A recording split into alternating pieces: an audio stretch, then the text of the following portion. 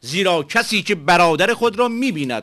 برادران بنده بشارت یا تبلیغ مسیحیت نمی کنم برای یادآور شدن بعضی از اذهان عمومی که مسیحیت واقعی و تعلیم مسیح را بهتر بشناسن فریب تعالیم کذبه نشن.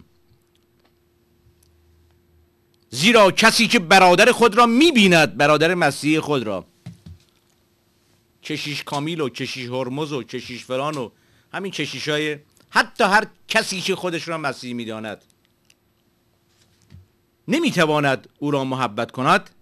خدا را نمی‌تواند دوست داشته باشد. این کلام مسیح است. در متا آیه 18 اینم تموم می‌کنیم بعد بریم به سراغ میهمانمون. می‌گوید اگر برادرت با تو بدی کند. بدی. یعنی به تو فش بدهد. غیبت تو را بکند. مال تو خورده باشد. حق تو ضایع کرده باشد. بدی اینه دیگه اینا بدیاست اگر برادرت با تو بدی کند برو در خفا. برو در پنهانی با او صحبت کن. پس مسیحی که از برادرش انتقاد می کند و نرفته با او صحبت بکند داره به مسیح توهین می‌کنه. برو در خفا با او صحبت کن و اگر گوش نداد دو تا شاهد بردار و با او صحبت کن. این کلام مسیحه. این که میگن مسیح خداوند خداونده اگر کسی به حرف خداوندش گوش نکنه چطور می‌تونه دیگران را دوست داشته باشه؟ طبق انجیل. و اگر باز هم گوش نداد او را به حال خود وا بگذار. هی نگیم که چشیشه فلان چشیشه نمی‌دونم بلیتی چشیشه تیچی مسیحی فلان مسیحی آبکی. کسی که این حرف را می‌زند به مسیح و مسیحیت داره ضربه می‌زند. تیشه برداشته به ریشه مسیحیت و مسیح دوباره داره مسیح را مصلوب می‌کنه. چون بنده 22 سال مطالعه کتاب مقدس دارم. کسی نمی‌تونه سر من کلا بذاره. این کلام انجیل و کلام ایساست اگر برادرت با تو بدی کند برو در خفا باش صحبت کن. اگر گوش نکرد دو تا شاهد بردار. اگر دوباره گوش نکرد او را به حال خود وا بگذار. نه که بیا جلوی دوربین و ایر بخر بگو که برادران آبکی. می رویم یک تیکه موسیقی یا آرم برنامه را می بینیم برمیگردیم با آقای دیوید جواری. صحبت خواهیم کرد.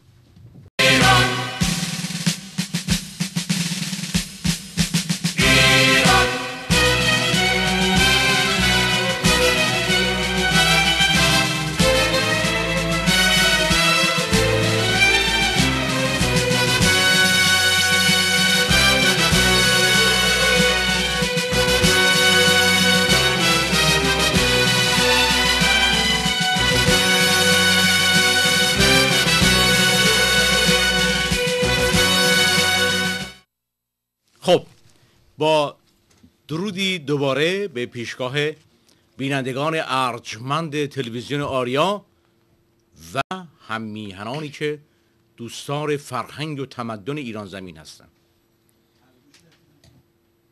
درود میگم به همه که در راه به من زنگ زدن و جویای برنامه بودن. سپاسگزارم از این نگرانیتون که درباره برنامه دارین.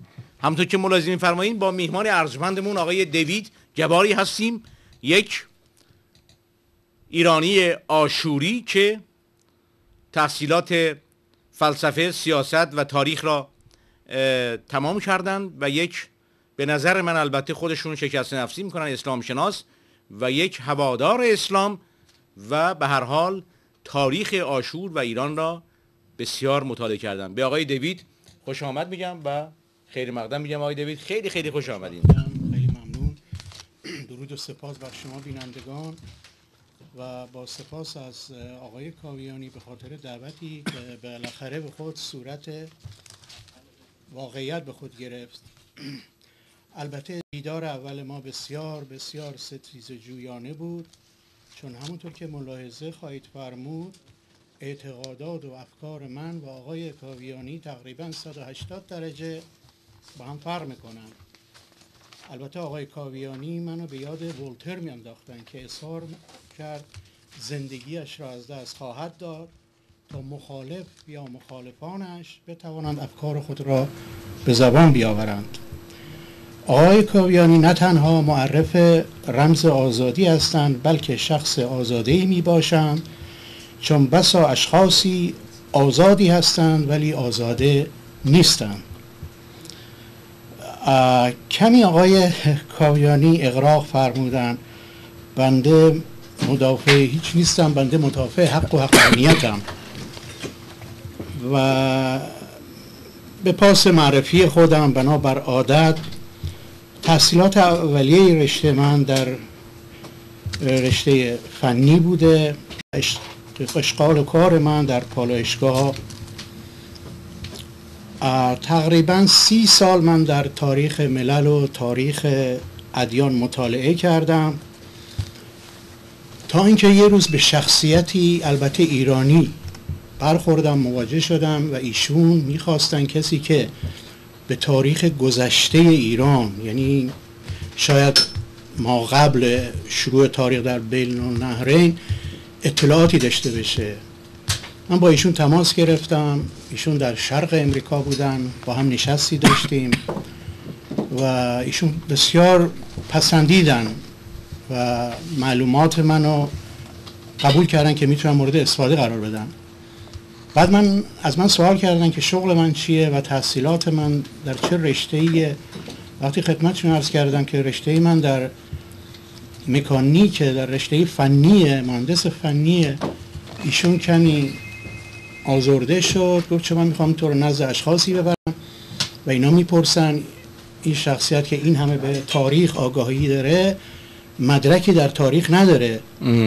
گفتم چرا می‌خوای منو ببری در مقابل اشخاص؟ اینا گفتش که می‌خوام کالتی بسازم. وقتی صحبت کالت شد گفتم من یک مسیحیم به خدا و مسیح ایمان دارم و حاضر نیستم کالتو یا فرقه تشکیل بدم و از ایشون خدافسی کردم و رفتم. ولی از اونجایی که واقعا حرف ایشون رو من اثر گذاشت. گفتم ایشون راست گفتن. من که اطلاعاتم در رشته فنیه چطور می‌تونم بیام ادعا از تاریخ و فلسفه و تاریخ ملل ادیان بکنم؟ بنابراین با این سنین تقریب بالا برگشتم به مدرسه تا در رشته تاریخ یه مدرکی بگیرم چنانچه چنین سوالی بشه بتونم جواب بدم. بسیار سپاسگزارم از آقای دیوید گواری که به هر حال امشب در خدمتشون خواهیم بود. و ما ببینیم که بنده اندکی درباره آقای دیوید صحبت کنم. بعد اگه خودشون به حال بیوگرافی رو تا اندازه کوتاه و مفید گفتم. آقای دیوید گماری گباری بر اثر رابطه هایی که با دوستان داشته و بر اثر مطالعاتی که کرده در اسلام حقانیت ادیان دیگر را پیدا کردن و معتقد هستند که اسلام مثل همه ادیان دیگر حقانیت داره و در و در بعضی اوقات برتری هم دارد و حقوق زن و دموکراسی در اسلام رعایت شده و آورده شده. و اما چندین ادعای دیگه هم دارن که امشب سعی می‌کنیم که به طور خیلی خلاصه به اونها بپردازیم. آقای دیوید ادعا می‌کنن که قرآن اول به زبان آشوری یا آرامی بوده و حضرت محمد به زبان آشوری قرآن را گفته و آنها را اسکف های آشوری هم نوشته شدن. از که برویم به سوال اول که به هر حال گفتم ایشون مرد آزادی هستند با بنیاد ایمان رابطه دوستانه دارن به دعای کمیلشون رفت آمد می‌کنن. حتی دعای کمیل را باعث آرامش خودشون می‌دونن. اینها رو ما در کمال صداقت به شما عرض می‌کنیم. رد قبولش به پای خودشون خواهد بود. من این شجاعت را در اینجا ستایش می‌کنم.